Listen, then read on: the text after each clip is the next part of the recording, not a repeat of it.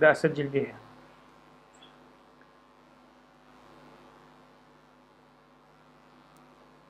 فقلنا ال nutrients هي نوعتين عندنا ال macro ال macro nutrients وال micro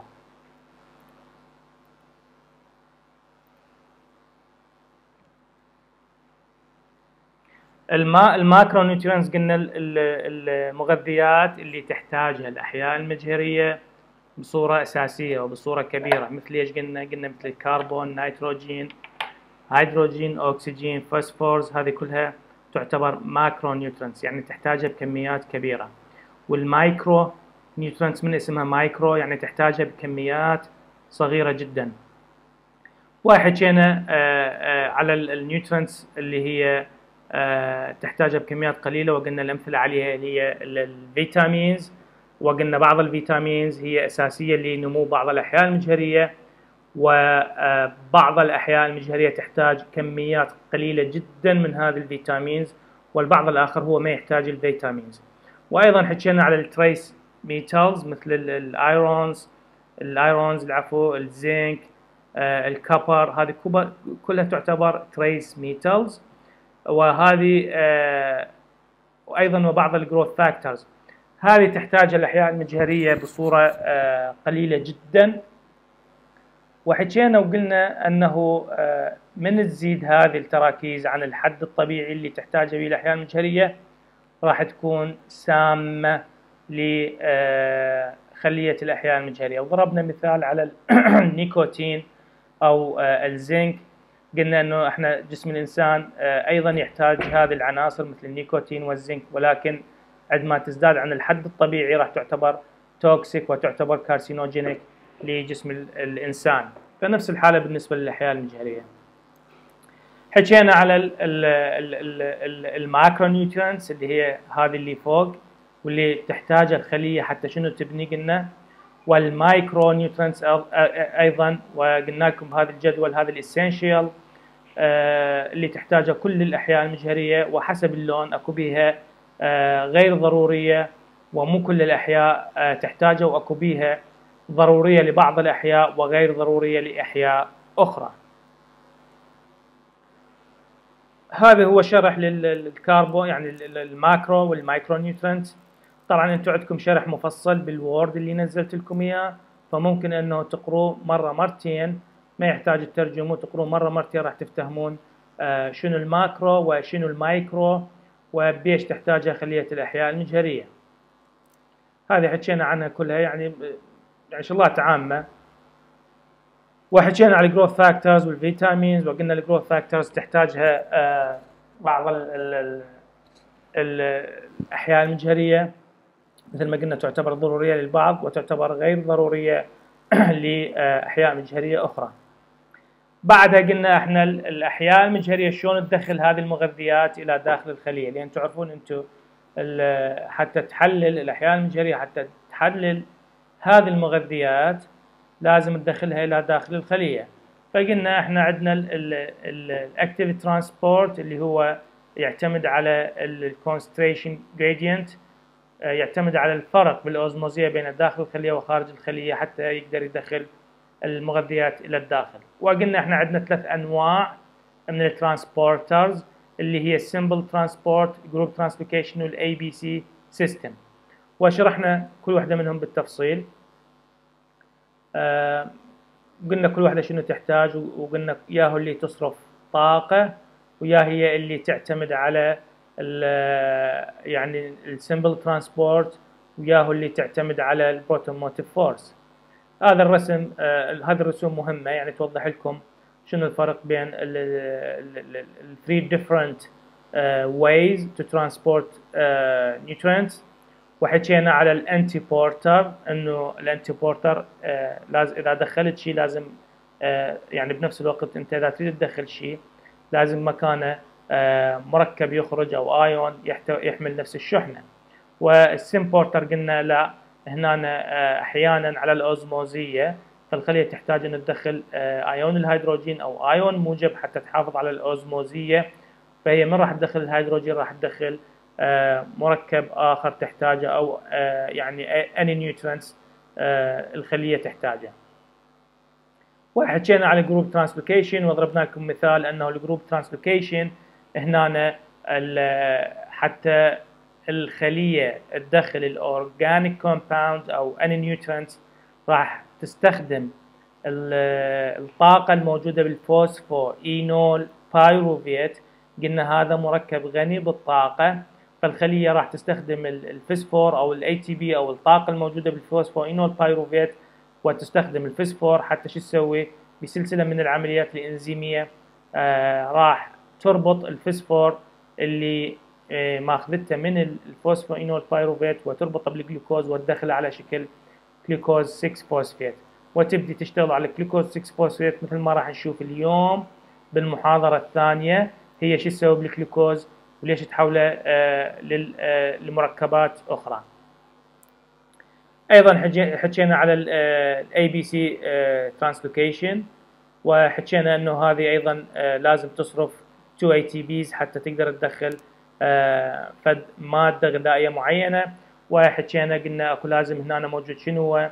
بال periplasm موجود بين ال cell wall أو ال peptidoglycan وال cell membrane قلنا أكو شيء اسمه periplasmic binding protein هذا البروتين راح يرتبط بالمادة الغذائية وتبدي تصرف طاقة حتى تدخل هاي المادة الغذائية إلى داخل الخلية.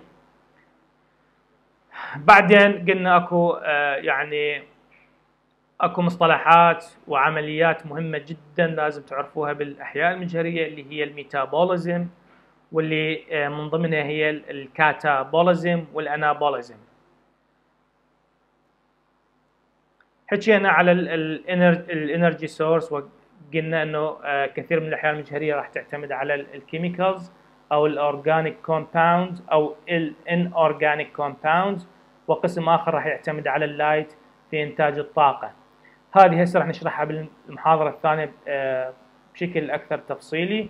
ولكن خلي ببالك إنه ال chemicals دائما إحنا نسميها organotrophy أو نسميها lithotrophy ال organotrophy تحتاج لل organic compounds وال lithotrophy تحتاج لل inorganic compounds وال phototroph هي تحتاج ال light حكينا على ال free energy وقلت لكم لا تدخلوا نفسكم بالمعادلة ولكن أعرف إنه ال free energy تقاس بالكيلو جول وحكينا على إنه الدلتا شنو الفرق بين ال delta G وال delta G zero قلنا ال delta G zero يعني الطاقة المنتجة أو الطاقة المتكونة أو الطاقة المتحررة تحت ال standard conditions يعني الضغط واحد ودرجة الحرارة 37 آه فهذه كلها تحت الظروف القياسية فأطلقنا عليها delta G zero وحكينا إحنا آه شو وقت آه نقول إنه ال reaction هو exergonic وش وقت يكون ال reaction endergonic قلنا عند ما يكون الطاقة المتحررة بال minus هذا معناه أنه هذا ال reaction أو هذه الفعالية أو هذه العملية الأيضية قاعد تحرر طاقة. إذا كانت بال minus كل ما تكون بال minus كل ما يكون ال minus أكبر يعني يعني مثلا minus 100 minus 200 minus 300 فال 300 minus 300 معناها انه الطاقة المتحررة هي أكبر من الطاقة اللي تتحرر بال minus 200 وال minus 100 وقلنا ال endergonic هو هنا إحنا يعني كل ما كانت ال free energy هي بال positive معناها أنه ال reaction أو التفاعل أو العملية الأيضية تحتاج إلى طاقة. يعني حتى تقوم بهذه العملية أنت لازم تصرف طاقة حتى تنطينا حتى تستمر يعني تستمر العملية الأيضية العفو أو حتى يستمر ال reaction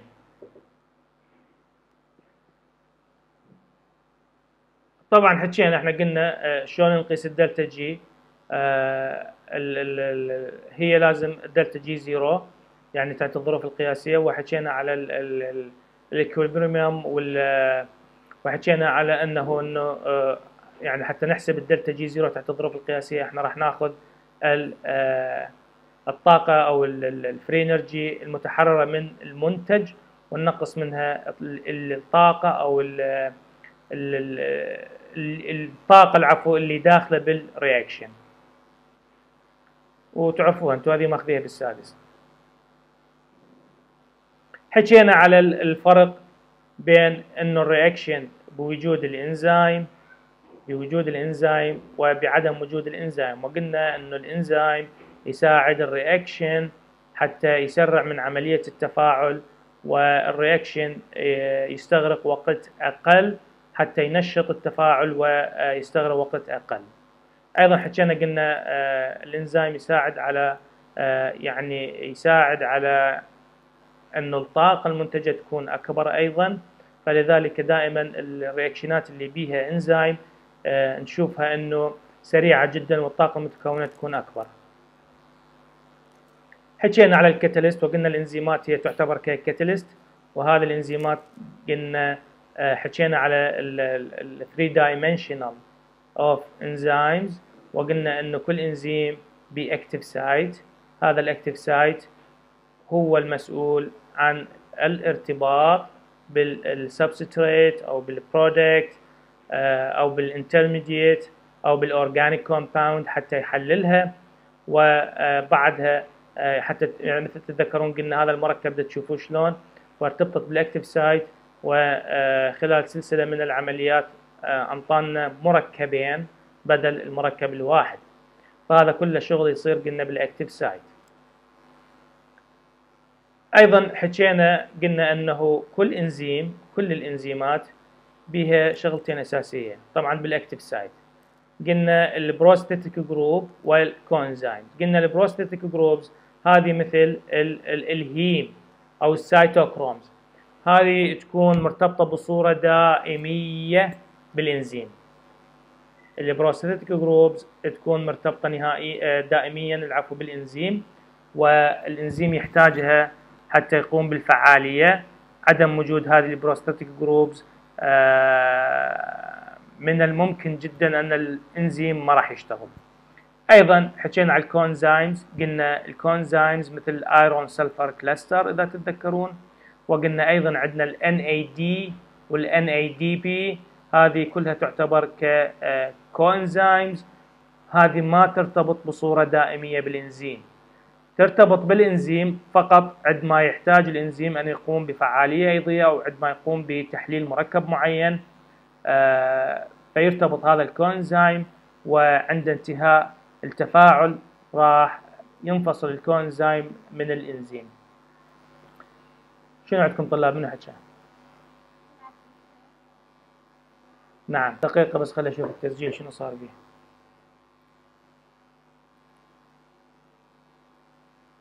قلنا ال coenzyme قلنا كل إنزيم أكو شيء اسمه prosthetic groups اللي هو مثل ال heme وال cytochrome okay؟ قلنا هذه ال heme والسيتوكروم أو ال prosthetic groups هذه دائما آه، تكون مرتبطة بصورة دائمية بالإنزيم. يعني ما تعوف الإنزيم مرتبطة به وتعتبر جزء من عنده. بينما ال coenzymes قلنا هذه ترتبط بصورة مؤقتة.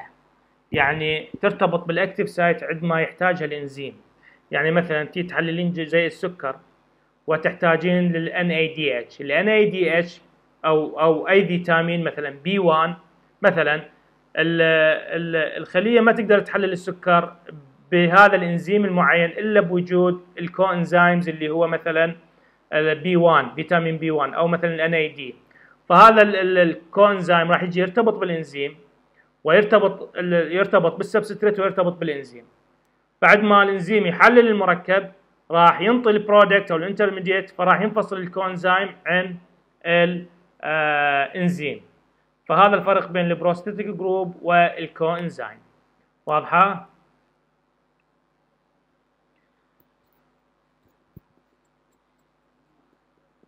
هنا راح نجي على فد شيء اسمه ال energy أو العفو ال electron donors وال electron acceptors. يعني هذا الحكي كله اللي حكيناه بالمحاضرة الأولى وحكينا على المغذيات وشلون تنقلها الخلية إلى داخل الخلية. راح نجي على حكينا طبعا على الإنزيمات وقلنا إن الإنزيمات تحتاج الخلية حتى تحلل هاي المغذيات.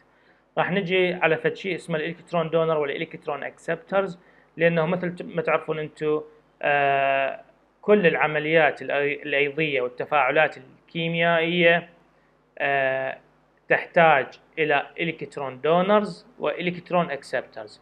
يعني تحتاج إلى مركب ينطي إلكترون إلى القابلية على أنه donate أو إعطاء إلكترونات لمركب آخر. المركب الآخر أيضا إلى القابلية على أنه يستقبل هذه الإلكترونات.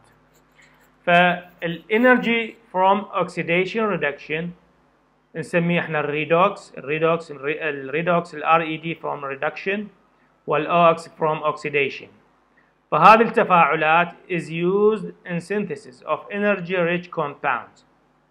اللي هي المثال عليها ATP فراح تشوفون أنتم لازم تعرف انه شنو ال oxidation وشنو ال reduction ف آه، من نقول oxidation معناها انه المركب آه، من نقول تأكسد يعني فقد electrons من نقول هذا المركب مثلا من نقول إنه الهيدروجين تأكسد مثلا معناها إنه الهيدروجين فقد electrons.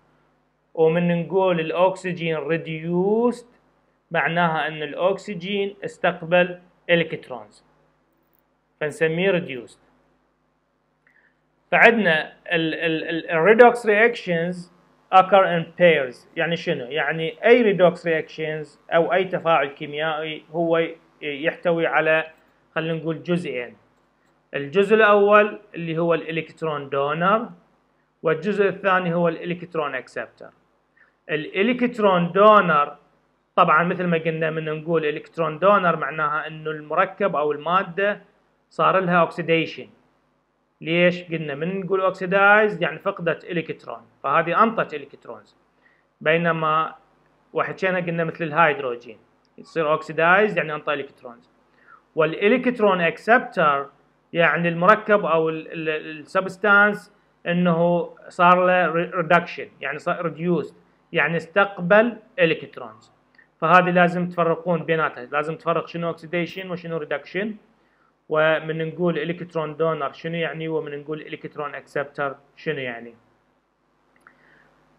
هذا المثال يوضح لكم ال two half reactions بدنا نشوف إحنا عندنا المثال آه الأساسي الموجود بالكيمياء هو تفاعل الهيدروجين مع الأكسجين. فبدنا نشوف إنه ال first half of the reaction is the hydrogen و the second half of the reaction is the oxygen. فهنا الهيدروجين راح donate آه، أو آه، ينطي electrons إلى المستقبل اللي هو الأكسجين حتى ينطي لنا ال water. فهنا راح نقول إن الهيدروجين oxidized والاكسجين reduced حتى ينطي لنا الهيدروجين. فهنا معناها إنه اي reaction آه، أي تفاعل كيميائي بي two half reactions أو in pairs معناها إنه الجزء الأول هو جزء المركب اللي ينطي electrons والجزء الثاني هو اللي يستقبل المركب اللي يستقبل electrons فهنا راح يصير الهيدروجين هو ال electron donor والأكسجين هو ال electron acceptor Uh, substances can be either electron donors or electron acceptors under different circumstances. معناها شنو؟ معناها uh, بعض المركبات مو كلها. بعض المركبات ممكن أن تكون electron donor وممكن أن تكون electron acceptor يعتمد على ال reaction ويعتمد على المواد الموجودة على ال organic أو ال inorganic compounds الموجودة بال environment أيضا يعتمد على ال reduction potential الموجود. ال reduction potential معناها إنه قابلية المركب حتى ينطي الكترون ف راح نشوف طبعا اكسبرس بالفولت وهنا reduce substance of a redox couple with a more negative reduction potential.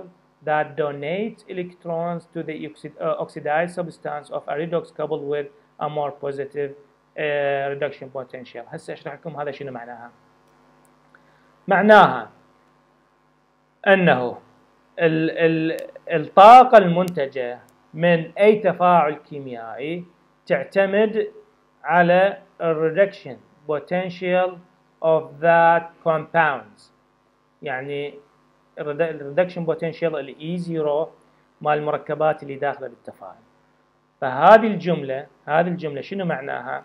معناها أنه كل ما كان المركب آه الرقم عالي وبالسالب كل ما كانت له القابلية على أنه donate their electrons يعني ينطي ال electrons مالته بصورة أسرع والطاقة اللي راح تنتج من التفاعل راح تكون أكبر. وكل ما كان المركب ب positive آه، عالي رقم عالي positive كل ما كان له القابلية على استقبال ال electrons يعني بالعكس. يعني بالعكس يعني إحنا قلنا ال donate هناك هو راح يحمل electrons ويحمل شحنة موجبة فينطي وال acceptor شحنه سالبة فيستقبل. بينما بال reduction potential راح نشوف إحنا آه، يختلف ال reduction potential عن ال electrons. فراح نشوف إحنا ال reduction potential مال هذا المركب كل ما كان سالب ورقمه عالي كل ما كانت له القابلية على آه، انه ينطي الإلكترونات اللي عنده وكل ما كان الرقم بالموجب كل ما كانت له القابلية على أن يستقبل الإلكترونات. انتبهوا لي زين شنو راح أحكي؟ كل ما كان الفرق كل ما كان الفرق بالمركبات المتفاعله بال reduction potential عالي. كل ما كانت الطاقة الناتجة من التفاعل عالية. معناها شنو؟ معناها إذا المركب هنا reduction potential مالته is minus 0.60 راح يتفاعل ويا مركب ال reduction potential مالته هي positive 1.10 راح ينطي طاقة جدا عالية. مو مثل ما يتفاعل مركب هنا بهذا المكان ويا مركب بهذا المكان. فراح نشوف عندنا ثلاث أمثلة. راح نشوف أنه آه عندما يتفاعل الهيدروجين الهيدروجين اللي هو reduction potential minus 0.42 مع ال fumarate أو مع ال fumarate اللي هو reduction potential مالته بال positive آه 0.03 راح نشوف إن الطاقة اللي تنتج هنا الهيدروجين مع ال fumarate راح يكون عندنا ال delta G 0 is minus 86 بينما لو ناخذ الهيدروجين ويا مركب أبعد الفرق مثل ال nitrate راح نشوف إن الطاقة المتكونة هذا more more positive راح نشوف الطاقة المتكونة هي minus 163 واذا اخذنا واحد مع الهيدروجين ابعد من ذن الاثنين اللي هو more positive reduction potential راح نشوف ان الطاقة المنتجة هي minus 237 كيلو جول هنا طلاب من يقول لي منو يعني هنا الطاقة المنتجة ياهو الأكثر وياهو الأفضل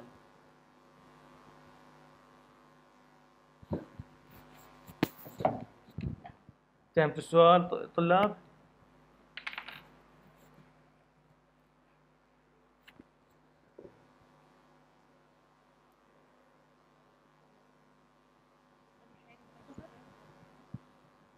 دا أقول دا أقول طلاب دا أقول أنه اعتمادا على ال redox tower اعتمادا على ال redox خلي اعتمادا على ال redox tower كل ما كان المركب اللي داخل بالتفاعل شحنته بالسالب ورقمه عالي بالسالب يتفاعل مع مركب. شحنته موجبة ورقمه عالي بالموجب راح الطاقة المنتجة تكون أكبر. وانطيتكم ثلاث أمثلة. قلنا عندما يكون الهيدروجين ويا واحد قريب عليه قريب عليه راح يصير الفرق قليل. فالطاقة شفناها هنا minus 86 عندما الهيدروجين تفاعل ويا واحد أبعد في ال nitrate أنطانا طاقة minus 163 وعد ما ابتعدنا بال redox tower إلى نزلنا لي جوا شفنا الطاقة صارت minus 237 سؤالي هو يا هو الأكثر الطاقة المتحررة يا هو الأفضل ال minus 86 أو ال minus 163 أو minus 237 خلوا بالكم طلاب أنا أسجل أسماء اللي يسأل واللي يجاوب. شيرين عبد آه شيرين عيد. عندك جواب؟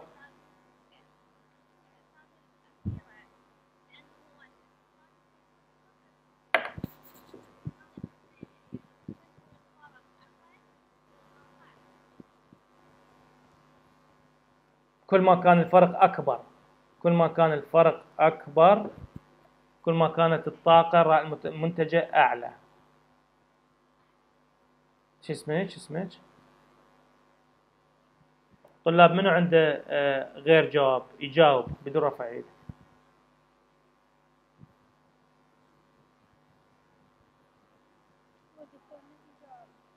okay. اذا آه مثل ما قالت زميلتكم أنه آه هذه تعتبر طاقة أفضل وأكبر لأن إحنا إيش قلنا؟ قلنا إذا تتذكرون كل ما كانت ال free energy بالماينس والرقم أعلى كل ما آه، تدل على أن الطاقة المتكونة هي أكبر فخلوا ببالكم أنه كل ما كان الفرق بين المتفاعل ال donor كل ما كان بالماينس يتفاعل مع acceptor بال positive أعلى كل ما كانت الطاقة المنتجة أكبر. اللي عنده سؤال خليه يخليه للأخير ما نكمل إن شاء الله. فعندنا the redox tower represent the range of possible reduction potential substances toward the top reduced prefer to donate electrons. معناها يقول انه المركبات اللي بأعلى ال redox tower اللي هنا بالأعلى لها القدرة على أنه تنطي الكترونات والمركبات toward the bottom oxidized prefer to accept electrons. وهذه اللي بالأسفل كل ما ابتعدنا لجوا كل ما كانت لها القابلية على أنه accept electrons بصورة سريعة وتنطي طاقة أكبر. فيقول the farther the electrons drop the greater the amount of energy released. يعني معناها إنه كل ما كانت المسافة بين المتفاعل الدونر والأكسبتر عالية كل ما نزلنا لجوا أو صعدنا لفوق راح الطاقة اللي تنتج راح تكون عالية. فهنا يقول عندنا الأكسجين هو أقوى significant natural electron acceptor. يعتبر الأكسجين هو من أقوى المركبات اللي تستقبل الكترونز آه، زين طلاب من يقول لي شنو الفرق بين هنا أنا قلت H2 زائد fumarate أنطاني succinate. وقلت H2 زائد NO3 أنطاني NO2 plus H2O وهنا قلت H2 زائد أكسجين أنطاني H2O من يعرف شنو هاي الفرق بها الفرق بهذه العمليات الثلاثة شنو نسمي هذه؟ شنو نسمي هذه؟ شنو نسمي هذه؟ من يعرف؟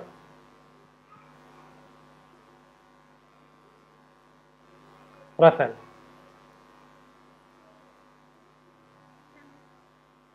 عندك جواب؟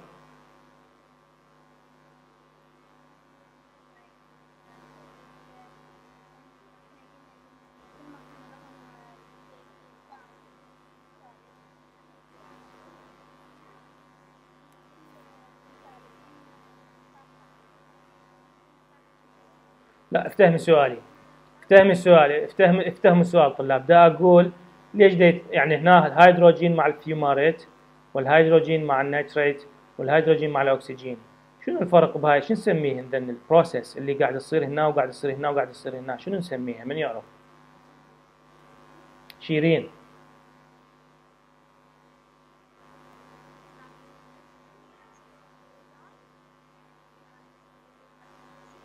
اي بس شنو شنو نسميها؟ التفاعلات اللي موجودة شنو نسميها؟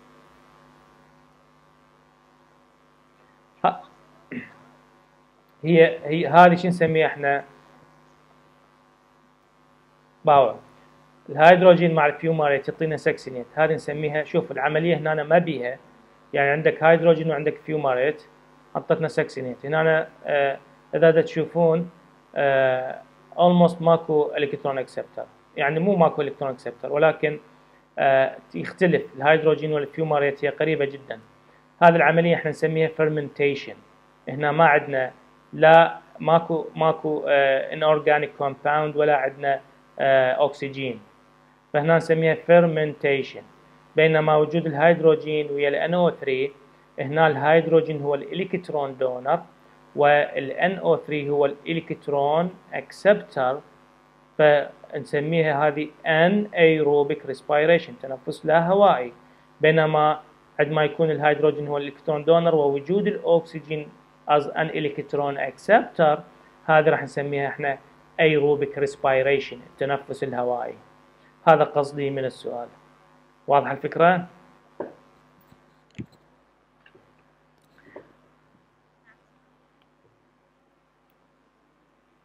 ال electron donors وال electron acceptors هنا آه، أيضا عندنا بعض ال cofactors اللي حكينا عنها. آه، ممكن أنه آه، تعتبر مركبات وسطية. تسهل عملية نقل ال electrons وال protons من مركب إلى آخر. فعندنا المثال الشائع جدا اللي هو ال NADH اللي هو يعني يعتبر cofactor بالنسبة للإنزيم ويعتبر كمركب آه، وسطي آه، ينقل.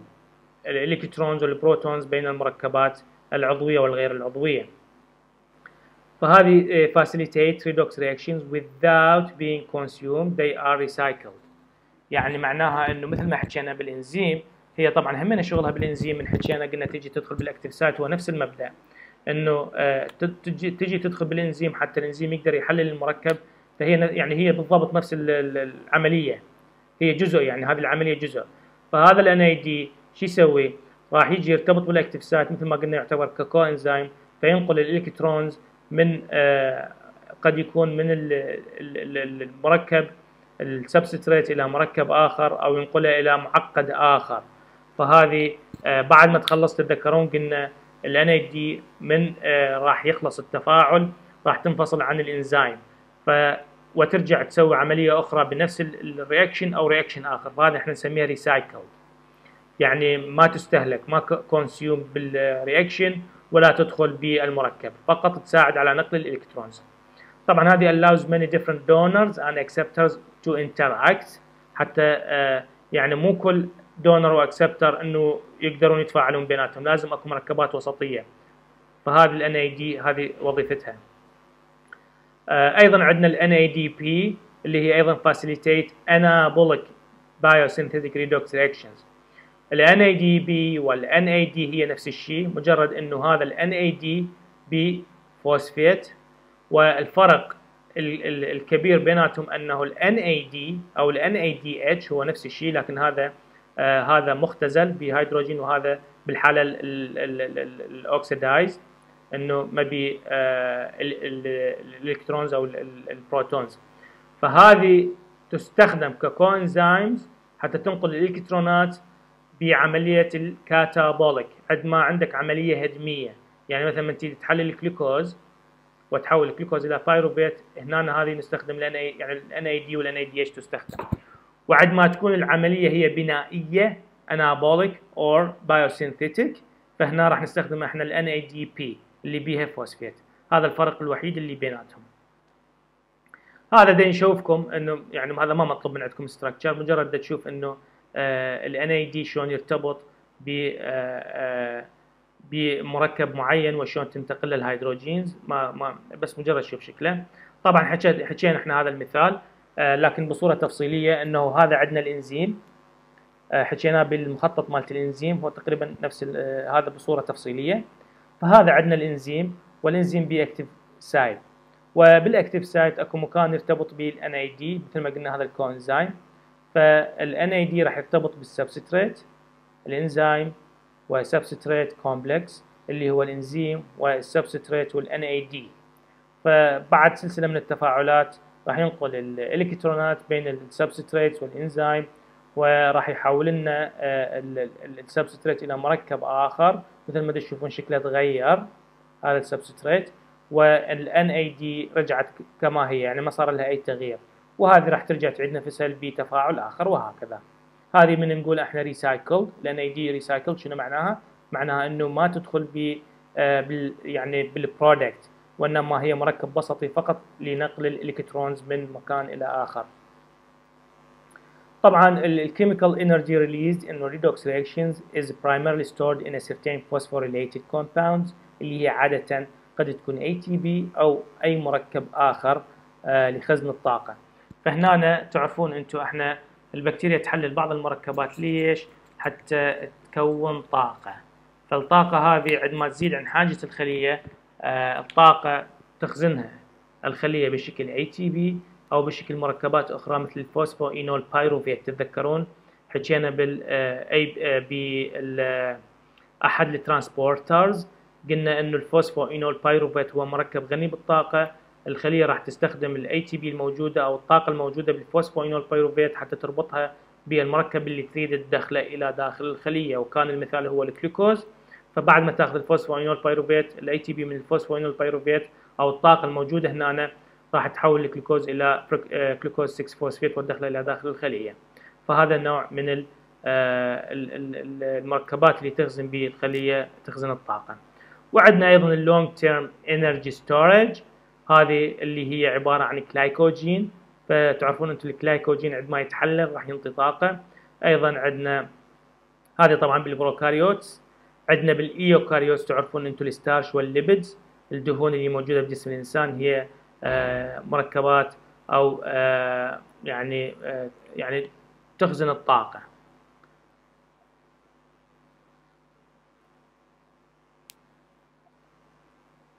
هذه بالنسبة لتكملة المحاضرة الأولى. المحاضرة الثانية راح نستمر على ال catabolism.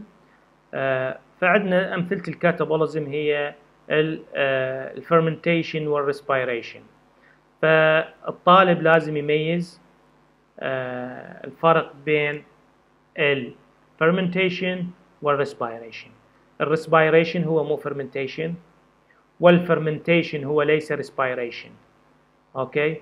فال fermentation يعني fermentation process أو fermentation catabolic أو catabolism وال respiration هو قد يكون aerobic respiration or anaerobic respiration. فهنا راح نحكي على ال glycolysis وراح نحكي على ال respiration وال electron transport chain بصورة مفصلة. يعني هو بصورة مفصلة بالنسبة كدرس لأحياء مجهرية ولكن راح أعطيكم إياها اني بصورة آه إنه بس تفهم شنو اللي دا يصير. آه هذه راح تاخذوها أنتم بالتفصيل بالثالث في فسلجه الاحياء المجهريه وبالرابع بوراثة الأحياء المجهريه والبيولوجيا الجزيئيه. آه فإذا نشوف إحنا آه إنه ال fermentation هي anaerobic catabolism انتبهوا لي. دا أقول fermentation هي anaerobic catabolism ما دا أقول anaerobic respiration لازم تفرق بين ال anaerobic respiration اللي هو آه، قد يكون anaerobic catabolism anaerobic respiration تنفس لا هوائي. ومن أقول anaerobic catabolism أقصد به إنه ال fermentation يعني ما يصير أقول ال fermentation هو عبارة عن anaerobic respiration. لا أقول ال fermentation هو anaerobic catabolism. هو يحدث آه، بعدم وجود الأكسجين ولكن هو ليس respiration. طبعا ال fermentation إنه ال organic compounds donate and accept electrons هنا راح نشوف إنه ال fermentation يختلف عن ال respiration إنه ال fermentation عادة أو أغلب الأحيان إنه ال organic compound هو نفسه electron donor وهو نفسه electron acceptor في كثير من الحالات يعني مو على طول. ولكن افهم إنه ال fermentation في كثير من الحالات إنه ال organic compound أو المركب العضوي هو نفسه يكون electron donor و electron acceptor. بينما بال respiration اللي هي aerobic و anaerobic respiration لا. لازم عندنا مركب organic compound هو يكون ال electron donor و another compound أو آه، آه، اللي هو electron acceptor. هسه راح نشرحها ب آه، يعني سلايدات لاحقه راح نشرحها بالتفصيل. فال aerobic respiration هو عندنا الأكسجين وال anaerobic respiration عندما يكون ال electron acceptor other than oxygen قد يكون sulfide sulfur nitrite أو أي يعني أي مركب آخر أو قد يكون مركب عضوي آخر. يعني ممكن إنه ال electron donor مركب عضوي وال acceptor مركب عضوي آخر يختلف فهذه نسميها anaerobic respiration راح نبدي بال ال pathway الشائع اللي هو ال glycolysis اللي هي عملية تحلل السكر. وأيضا إحنا نسميها Embden Meyerhof Parnas pathway نسبة إلى اسم العالم اللي اكتشف هذه العملية أو هذا ال metabolism. آه طبعا هذا common pathway for catabolism of glucose that form 2 ATP uh, can be fermented or respired. هنا الجلوكوز بعملية ال glycolysis يا إما يصير له fermentation or respiration طبعا هذا يعتمد على الكائن المجهري الموجود ويعتمد على وجود أو عدم وجود الاكسجين عندنا ال ATP produced by substrate level phosphorylation uh, وأيضا ال energy rich phosphate bond from organic compound is transferred to ADP making ATP يعني هنا دا يقول ال ADP uh, وجود الفوسفات راح يتحول إلى ATP اللي هو energy rich uh, compound شنو ال substrate level phosphorylation يعني شنو ال ATP produced by substrate level phosphorylation هسه هسه نشرحها. هذا المخطط ما أريدك تحفظه بس أريدك تفهم اللي راح أقوله. آه الجلوكوز عندما يدخل داخل الخلية راح تبدي الخلية بسلسلة من التفاعلات وبوجود عدد من الإنزيمات اللي هذه تشوفوها أنتم اللي هي 13 إنزيم. راح تحول الجلوكوز إلى intermediates مختلفة. هذه هي عبارة عن المركبات الوسطية اللي يتحول بها الجلوكوز كل اللي أريدك تفهمه أنه عندما يتحول الجلوكوز إلى مركب C اللي هو فريكتوز 16 فوسفات راح تصرف الخلية على 2 ATPs فدا تشوفون أنتم هاي ال ATP داخلة مو طالعة مو مثل هذا ال ATP بيها سهم طالع. هذا السهم معناه إنه إحنا صرفنا بهاي الخطوة ATP حتى نحول الجلوكوز منا لهنا. وصرفنا بهاي الخطوة ATP حتى نحول هذا ال intermediate إلى هذا ال intermediate اللي هو فريكتوز 16 فوسفات هذا المركب راح يتحول إلى مركب D و E طبعا اللي يهمنا إحنا مركب E ليش؟ لأنه هو هذا اللي راح يدخل ب راح يستمر إلى أن ينطينا ال pyruvate. هذا المركب في تفاعل آخر إضافي راح يتحول إلى هذا المركب. فيعني إنه الجلوكوز راح يعطينا جزيئتين من هذا المركب ال E اللي هو glyceraldehyde 3 فوسفات 2 glyceraldehyde 3 فوسفات من هذه الخطوة من الخطوة رقم أربعة إلى الخطوة رقم سبعة نسميها إحنا ال redox step ليش؟ لأنه راح نشوف إحنا هنا راح يدخل ال NAD ال NAD يتدخل فتدخل ال NAD حتى يحول هذا المركب إلى هذا المركب. وأنطانا 2 NADH فهسه أنتم المفروض تسجلون يمكم تقولون إنه إحنا عندما يتحول الجلوكوز إلى فريكتوز 16 فوسفات راح نصرف أو الخلية راح تصرف 2 إي تي بيز 2 إي تي بي.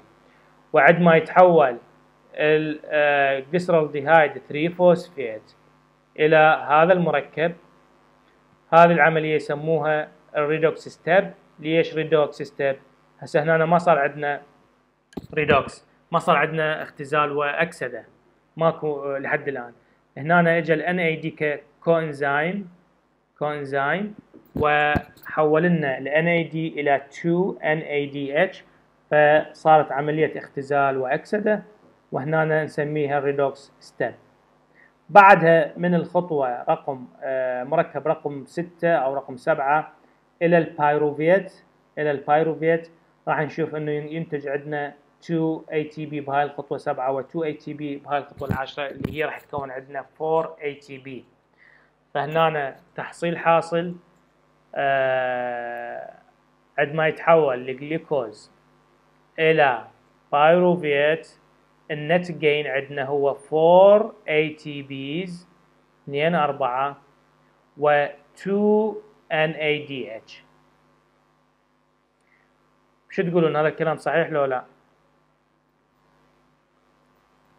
المحصلة النهائية عندنا من الجلوكوز لل pyruvate 4 ATP واثنين NADH من يقول لي هذا الكلام صحيح لو لا؟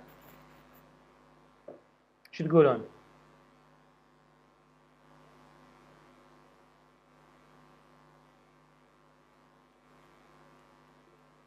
عبد الرحمن. رفعت.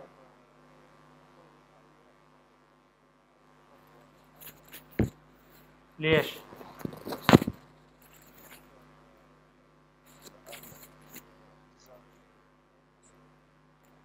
ما ينحسب بعض الطلاب. يقين يقين.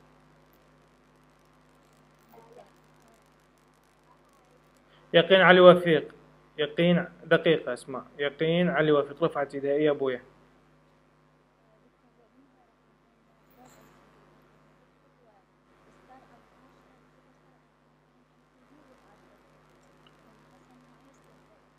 أوكي بعد من عنده غير كلام. اسماء عندك شيء تضيفيه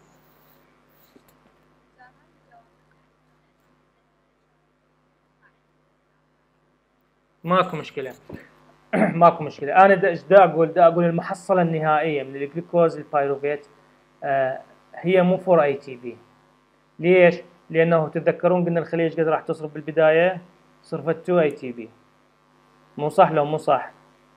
فهي صرفت هنا 2 ATP وهنا حصلت 4 ATP فإحنا من أقول المحصلة النهائية أقول 2 ATP من الجلوكوز إلى ال pyruvate هي 2 ATP فقط. ليش؟ لأنه الاثنين إحنا صرفناها بالبداية. و 2 NADH. okay؟ الحد هنا من ال ال من الخطوة السابعة أو السادسه السابعة خلينا نقول إلى الخطوة إلى ال pyruvate. هذه شو نسميها إحنا؟ نسميها substrate level phosphorylation. substrate level phosphorylation. ليش؟ لأنه إحنا اعتمدنا على ال substrate حتى في إنتاج الطاقة. تحول ال substrate بوجود الإنزيمات من آه، مركب إلى آخر وانطانا ATP هنا و ATP هنا فهذه نسميها إحنا substrate level phosphorylation. بينما هذه إحنا نسميها ال redox step اللي هي أنطتنا 2 NADH هسه راح تشوفون بال slides ات اللاحقة شنو فائدة ال 2 NADH وليش أنا قلت لكم سجلوا يمكم أنه ال net gain بالطاقة المنتجة من الجلوكوز إلى ال pyruvate هي 2 ATP و 2 NADH طبعا لحد ال pyruvate لحد ال pyruvate هنا آه يعني آه بعض الأحياء المجهرية راح تستخدم ال pyruvate وتخمر ال pyruvate إلى lactate أو إيثانول أو مركبات أخرى. يعتمد على نوع الاحياء المجهريه الموجوده يعتمد على الاكسجين عندك لو ما عندك يعتمد أيضا على ال inorganic compound اللي ممكن انه نستخدمها ك electron acceptors من ال pyruvate فبعض الاحياء المجهريه هي تفضل انه تخمر ال pyruvate إلى lactate مثل ال lactic acid bacteria وراح تنطينا طاقه بال minus 196 وبعض الآخر يفضل أنه يحول ال pyruvate إلى إيثانول مثل عندنا ال yeast الخمار وتعطي طاقة هي minus 239 نفسها. تعرفون أنتم إحنا ال lactate مثل ال lactic acid اللي يعني بالألبان هذه مهمة جدا هذه البكتيريا. آه وأيضا عندنا اليست الخمائر مهمة جدا في إنتاج الإيثانول. كثير من الأحيان المجهريه إحنا آه يعني تعود آه بتخمر بعض المركبات تعود بالنفع على الإنسان. مثل ما تعرفون أنتم الخبز مثل الخميرة يعني كثير من الألبان الصمون يعني مثلا الخال المخللات هذه كلها آه، تعود بعض يعني الأحياء المجهريه بها نفع للإنسان. فهسه كلنا نتفق أنه إحنا نقول من الجلوكوز لل pyruvate راح ال net gain يكون 2 اي تي بي بلس 2 ان اي دي اتش وكلنا متفقين أنه من ال pyruvate هنالك عدد من الأحياء المجهريه اللي اللي هي يعني بسبب الظروف مثلا أو هي تفضل أنه تخمره أو ما عندنا أكسجين ما عندنا inorganic compound that can be used as an electron acceptor فراح تبدأ تخمر ال pyruvate. ولكن uh, أحياء مجهرية أخرى ما تخ... يعني ما تفضل أنه تخمر ال glyco ال pyruvate وإنما إيش راح تسوي؟ راح تدخل ال pyruvate بعملية أخرى اسمها ال citric acid cycle أو نسميها ال Krebs cycle هذا إحنا نسميها ال citric acid cycle أو ال Krebs cycle هذه إيش وقت تحدث هاي العملية؟ هذه عندما يكون عندنا آه أكسجين متوفر فال citric acid cycle ما تحدث إلا بوجود الأكسجين فليش؟ لأنه وجود الأكسجين قلنا إحنا الأكسجين يعتبر من أقوى المركبات أو من أقوى المواد اللي هي ممكن آه تعتبر آه ك آه يعني electron acceptor تستقبل الإلكترونات وهي في في القاع لل redox tower يعني بال bottom مال ال redox tower ال minus مالتها كلش عالي فراح تنتج طاقة كلش كبيرة فوجود بعض الأحياء المجهرية ووجود الأكسجين راح يخليها تاخذ ال pyruvate. هذا البايروفيت اللي جاي من الجلوكوز راح تدخله بال Krebs cycle أو ال citric acid cycle. طبعا آه، ما راح أخوض بالتفاصيل مالت ال citric acid cycle ولكن مثل ما مبين قدامكم إنه راح تاخذ ال pyruvate بوجود ال acetyl CoA وتحوله إلى citrate و alpha-ketoglutarate و succinate و fumarate malate وال oxaloacetate آه هاي الخطوات كلها راح نشوف إنه استخدام ال pyruvate بال citric acid cycle راح ينطينا هنا NADH راح يعطينا هنا أيضا NADPH هنا راح يعطينا NADH هنا راح يعطينا آه GTP طبعا ال GTP هو نفسه ال ATP وراح يعطينا هنا FADH وهنا NADH المحصلة النهائية بس اريد اللي أريدكم تعرفون أنه المح... نعم.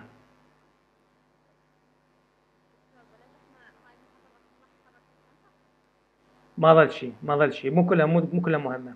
خلونا نخلص طلاب.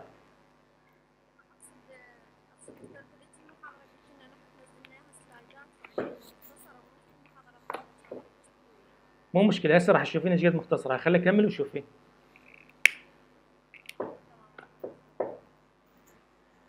فهنا راح نشوف إنه آه مثل ما حكينا قلنا إنه بال glycolysis ال glycolysis إنه الجلوكوز تحول إلى pyruvate أنطانا 2 ATP و 2 ATP العفو 2 ATP و 2 NADH. 2 ATP و 2 كل NADH يعطينا 3 ATP ال ATP هو ATP وال NADH ليش قلنا مهم؟ لأنه كل 1 أو واحد NADH راح يعطينا 3 ATP فإحنا حصلنا بال من الجلوكوز لل pyruvate حصلنا 2 NADH فطلنا 6 ATP فالمحصلة النهائية للجلوكوز إلى ال pyruvate هو 8 أو 8 ATP عندما يدخل ال pyruvate بال citric acid cycle ويتحول إلى CO2 راح نشوف أنه راح ينطينا 30 ATP أنطانا 2 GDP أو 2 GTP اللي هي 2 ATP وأنطانا 8 NADH راح نضربها في 3 راح يعطينا 24 ATP وأنطانا 2 FADH اللي راح نضربها في 2 تنطينا 4 كل واحد FADH هو 2 ATPs يعني ال ATP هو ATP واحد ATP واحد ATP واحد NADH هو 3 ATPs والواحد FADH هو 2 ATPs فالمحصلة النهائية راح نشوف إحنا نحصل 38 ATP عندما يتحول الجلوكوز إلى CO2 عندما يتحول الجلوكوز إلى CO2 راح نحصل 38 ATP هذه لازم تفهموها فصلت لكم إياها بالتفصيل فافهموها. عندنا أيضا آه، إحنا قلنا ليش الاحياء المجهريه راح تأخذ ال pyruvate بال citric acid cycle قلنا حتى تعطينا طاقة. وأنتم شفتوا إيش قد الطاقة المنتجة؟ هي 30 ATP فقط من ال citric acid cycle هاي من جزيئة الجلوكوز وحدة. Okay؟ بالإضافة إلى الطاقه أيضا راح آه، تتكون عندنا بعض المركبات اللي هي إحنا نسميها من 2 آه، carbons إلى 6 carbons اللي هي مثل عندنا ال citrate ال succinate ال fumarate ال malate وال oxaloacetate هذه كلها بها pathway ات آه، فرعية تستخدم في تصنيع الأحماض الأمينية آه، اللي تستخدم في تصنيع ال proteins. بعض هذه المركبات أو العفو ال intermediates الموجودة تستخدم في تصنيع ال DNA وال RNA والبعض الآخر يستخدم في تصنيع ال lipids آه، والبعض الآخر يستخدم في تركيب ال structure لل cell membrane أيضا عندنا المركب ال oxaloacetate كلش مهم. ليش؟ لأنه ال oxaloacetate ممكن أن يتحول لل pyruvate وممكن أن يتحول لل phosphoenolpyruvate ويرجع يعيد لنا ال citric acid cycle ففي حالة عدم توفر الجلوكوز والخلية عندها oxaloacetate بالإمكان إنه بس تطلع منه CO2 راح تحوله إلى pyruvate أو تحوله إلى أو تحوله إلى شنو؟ إلى phosphoenolpyruvate وتجي تستخدم هذه ال cycle مرة أخرى وتطلع ATP في حالة إنه الخلية احتاجت إلى ATP. هذه بصورة آه، سريعة بالنسبة لل citric acid cycle. آه هذا كله حكيناه إحنا. راح تشوفون انه هذه السلايدات مجرد انه أنا شرحت لكم ال ال هذا ال slide راح يغطي لكم أكثر من 10 أو 12 slide موجودة. يعني ممكن انه أنتم تقروها ما بيها فد شيء هذه حكينا عنها قلنا إحنا عندنا ال oxaloacetate وال malate وال succinate تستخدم في بناء مركبات وأحماض أمينية تحتاجها الخلية. يعني مو فقط إنتاج الطاقة. فدا نشوف إحنا ال oxaloacetate ممكن إنه يرجع إلى ال pyruvate وال pyruvate راح يعطينا citrate وال isocitrate ويرجع آه، يعني تدور العملية مرة أخرى. وإذا ما تحتاج الخلية ATP راح تاخذ ال oxaloacetate وتحوله إلى مركبات أخرى تدخل في عملية ال biosynthesis لل amino acid وال nucleic acid مثل ما راح نشوف بالسلايدات اللاحقة. هذه كلها آه، باع من هذا ال slide. من هذا ال slide واحد اثنين ثلاثة أربعة خمسة ستة سبعة ثمانية تسعة عشرة. أتوقع 11 slide. هذا ال 11 slide اللي راح راح أشرح لكم اياها بهذه الصورة. آه ما راح ادخلكم بتعقيدات ولكن آه الحكي اللي حكيناه الحكي اللي حكيناه إنه آه من قلنا أكو خطوات من رقم أربعة إلى سبعة بال glycolysis إنه آه الخلية تستخدم ال NADH وتنقل ال electrons وال آه، NAD العفو تنقل ال electrons إلى مركبات أخرى وتعطينا ال NADH أيضا عندنا أكو شيء اسمه ال electron transport chain ال electron transport chain هذه موجودة بال cell membrane عبارة عن معقدات بروتينية آه، والبعض منها معقد غير بروتيني non-proteinic compounds هذه تستخدم كوسيط لنقل ال electrons من ال electron donor إلى ال electron acceptor. فعندنا المثال الشائع هو عندما يكون ال electron donor هو الهيدروجين وال electron acceptor هو الأكسجين. تشوفون هذا الأكسجين هذا ال terminal electron acceptor وهذا ال electron donor الهيدروجين. شلون تتم العملية؟ العملية هو إحنا المدروسة أكثر أنه إحنا عندنا هذه المعقدات موجودة بال cell membrane.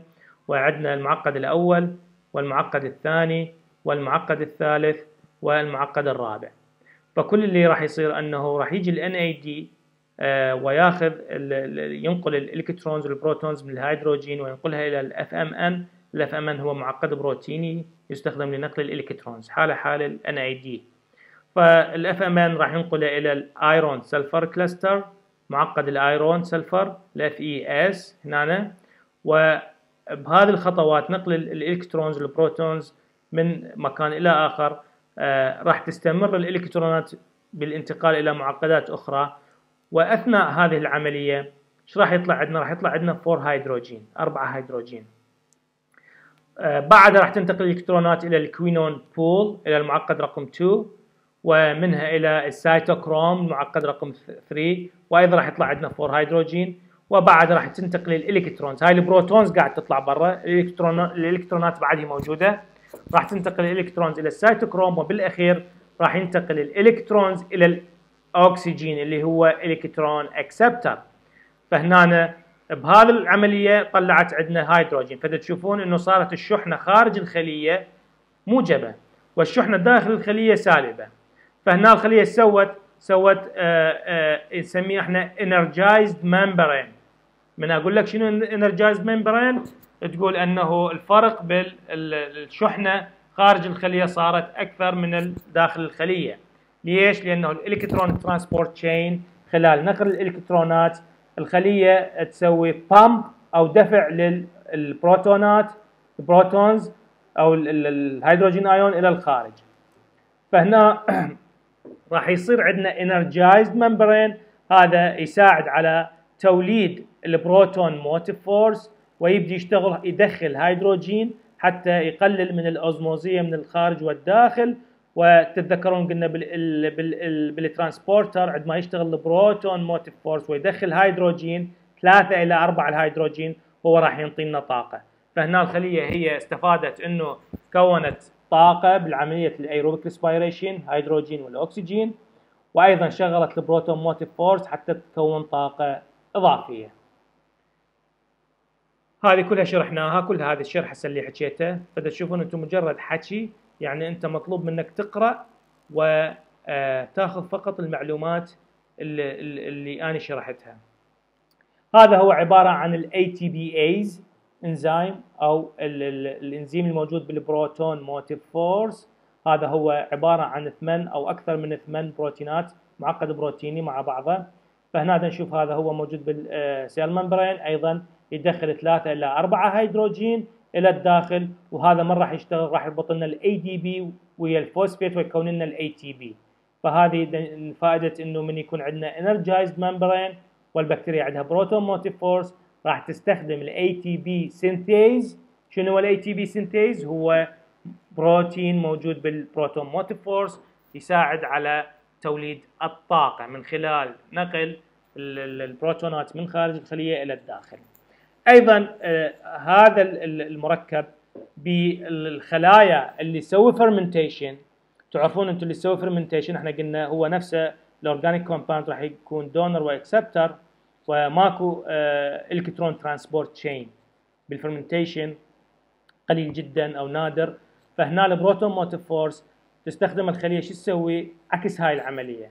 يعني شو تسوي؟ إنه آه بدل ما تكون ATP هي راح تصرف ATP تعطي ATP إلى ADP و phosphate حتى شنو؟ هو عندما تحتاجه في الحركة عندما تحرك ال flagella مالتها أو آه من تريد آه إنه تدخل فد مادة معينة راح تصرف طاقة مثل ما شفنا بال ال ABC translocation إنه transporter إنه عندما تريد تدخل إنه لازم تصرف طاقة proton motive force حتى تدخل المادة الغذائية. Microorganisms demonstrate a wide range of mechanisms for generating energy فعندنا هذا إحنا حكينا عن ال aerobic respiration عندنا ال anaerobic respiration وعندنا ال chemolithotrophy وال phototrophy مختصر مفيد كل ال ال ال ال ال mechanisms اللي تستخدمها انتبهوا لي. كل ال mechanisms اللي تستخدمها الأحياء المجهرية في توليد الطاقة أو في إنتاج ال cell material هي ملخصة بهذا ال slide. فهنا عندما يكون ال electron donor. هو عبارة عن organic compound وهو نفسه electron acceptor هذه راح نسميها إحنا fermentation. ما عندك electron acceptor other than that. فهذه راح تكون fermentation. عندما يكون ال electron donor هو organic compound وال electron acceptor هو يا إما ال sulfide أو ال NO3SO4 sulfate أو العفو ال sulfate وال nitrate وال sulfide أو any other organic compounds. هذه نسميها anaerobic respiration. في حالة وجود الأكسجين راح نسميها aerobic respiration. فهذه شو نسميها؟ نسميها chemoorganotrophy شنو هي ال chemoorganotrophy؟ chemo من chemical organo من organic compound وال trophy هي التغذية.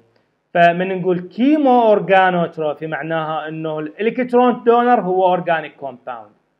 وال electron acceptor قد يكون inorganic compound or other organic compound وبهاي الحالة عدا الأكسجين بهاي الحالة نسميه anaerobic respiration أو يكون الأكسجين موجود فنسميه ال aerobic respiration أما إذا قلنا chemolithotrophy فهذه معناها إنه ال electron donor هو inorganic compound فتعرفون أنتم ال organic compound هو المركبات اللي بيها كربون ال inorganic compound هي مثل ال H2H2SFE وال NH4 الأمونيا etcetera فهذه نشوف هذه كلها ما بيها كربون فهذه آه، عندما تكون هذه ال electron donor other than ال organic compounds وال electron acceptor تكون إحدى هاي الثلاثة فهذه راح تكون anaerobic respiration ولكن بوجود الأكسجين راح نسميها aerobic respiration تنفس هوائي.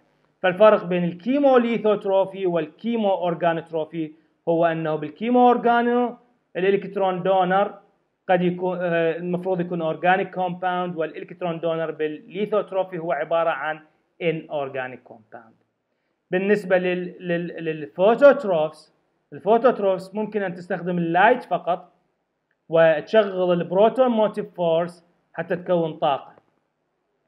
أما إذا كان عندنا ال organic compound موجودة فهنا راح نسوي mix ال organic compound يعني احدهما راح يكون الإلكترون دونر هو اللايت والاورجانيك كومباوند هو الأكسبتر. فهنا راح يكون عندنا photoheterotrophy ليش heterotrophy لأنه استخدمت organic compound ليش فوتو لأن أيضا هي تحتاج ال light أما إذا استخدمت ال CO2 مكان ال organic compound فقط ال CO2 فهذا إحنا نسميها photoautotrophy okay؟ حتى تكون الطاقة وال cell material هذه كلها شرحناها. ال anaerobic respiration وطبعا بصورة عامة ال aerobic respiration ال aerobic respiration يكون أكبر طاقة منتجة ولكن أيضا يعتمد على ال organic compound اللي هو ال donor. شنو ال organic compound؟ إذا كان الهيدروجين مو مثل الأمونيا فالطاقة راح تختلف. آه بعدها عندنا ال anaerobic respiration هي أقل طاقة أقل من الأيروبيك وعندنا أيضا ال fermentation هي أقل شيء في إنتاج الطاقة. هذه كلها شرحناها. آه ال biosynthesis أيضا شرحتها أنا بال Krebs cycle تتذكرون من قلت لكم إنه آه فائدة ال Krebs cycle أو ال citric acid cycle هي ليس فقط في إنتاج الطاقة ولكن أيضا في إنتاج هذه الفيوماريت الماليت الأوكزالوسيتيت الستريت اللي هي نسميها إحنا intermediates يعني مركبات وسطية. بيش نستخدمها قلنا؟ نستخدمها بال amino acids وال nucleotide synthesis وأيضا بال fatty acids وال lipid. آه طلاب يعني هذا ال slide واللي بعدها للأخير آه انتبهوا شنو راح أقول مو كله مطلوب من عندكم.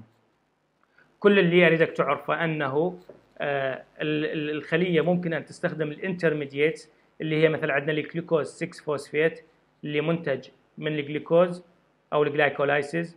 وممكن أن تستخدم ال citrate ال oxaloacetate اللي هي موجودة بال citric acid cycle. وكلها تستخدم هاي المركبات حتى تحولها إلى شنو؟ إلى ribose. ب pathway اسمه ال pentose phosphate pathway ال pentose phosphate pathway يستخدم لإنتاج ال ribose. مثل ما تعرفون أنتم ال ribose هو أحد مكونات ال nucleotides اللي تدخل في تركيب ال RNA وال DNA تتذكرون إن آه إنه ال nucleotide اللي موجودة بال DNA وال RNA هي عبارة عن سكر خماسي اللي هو ال ribose ومجموعة فوسفيت و الامينو العفو ال nitrogen base القاعدة النيتروجينية. فإحنا نحتاج ال ribose حتى نصنع حتى الخلية تصنع ال RNA وال DNA منين يجي ال ribose ال ribose يجي من الجلوكوز 6 فوسفيت منين يجي الجلوكوز 6 فوسفيت هذا قد يكون من عملية التحلل السكري ال glycolysis وقد يأتي من ال intermediates اللي اللي اللي خلينا نقول تكونت أو التي التي أنتجت بال citric acid أو ال Krebs cycle acid. فقط هذا مجرد يعني مجرد إنه أنتم تعرفون هاي الكم نقطة. آه هذه كلها يعني هذه ما مهمة. يعني هذه مج... يعني القوا عليها نظرة ولكن لا تحفظوها. بس افهموا لي شنو اللي دا يصير. هنا دا يقول إنه ممكن إنه هذه المركبات أو الكربون ال C 7 وال C 3 هذه المركبات شلون عندما تجتمع مع بعضها آه شلون تنطينا ال ribose وأيضا هنا 6 آه phospho آه العفو جلوكوز 6 فوسفيت شلون ينطينا سكر ال ribose. إعادة للمخطط اللي شرحته لكن بصورة أكثر تفصيلية ما مطلوب من عندكم. أيضا هنا دا يشوفكم إنه يقول لك ال amino acids ممكن إنه تجي من هذه ال oxaloacetate أو ال malate أو ال fumarate ممكن ان نصنع من عندها ال amino acids. ال amino acids هذه اللي موجودة هنا آه نشوف إنه كل مجموعة amino acid هي تجي من مركب معين من هذه المركبات. يعني القوا عليها نظرة طلاب ولكن يعني مثل ما قلت لكم ما ما مطالب ان أنتم بالامتحان.